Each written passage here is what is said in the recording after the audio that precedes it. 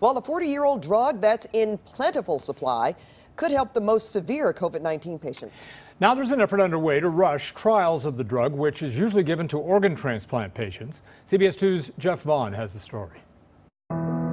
In the battle for survival against COVID 19, it's a question Dr. Hooman Noorchashm can't stop thinking about. Why is it that we're not considering cyclosporine?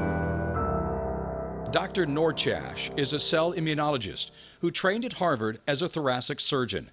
He's cared for heart and lung transplant patients. Most transplant surgeons are quite familiar with what this drug is. He believes cyclosporine, the same drug that fights rejection in transplant patients, could stop life threatening lung damage from COVID 19. The kill mechanism for this virus seems to be actually an out of control immune response. That response is known as a cytokine storm.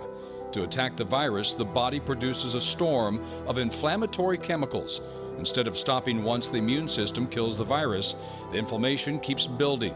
When the lungs are involved, patients can lose the ability to breathe. By the time patients end on the ventilator, it's you know they already have a very high mortality risk. I think the Achilles heel of this problem is going to be turning off the kill mechanism, and that seems to be a cytokine storm syndrome. Dr. Noorchashm believes cyclosporine may provide the quickest way to do this for the greatest number of COVID-19 patients. For one, there's no shortage and it's available vastly internationally. It's quite inexpensive.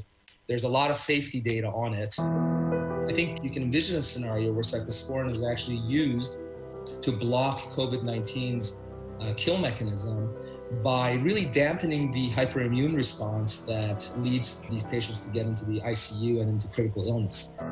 Jeff Vaughn, KCAL 9 News.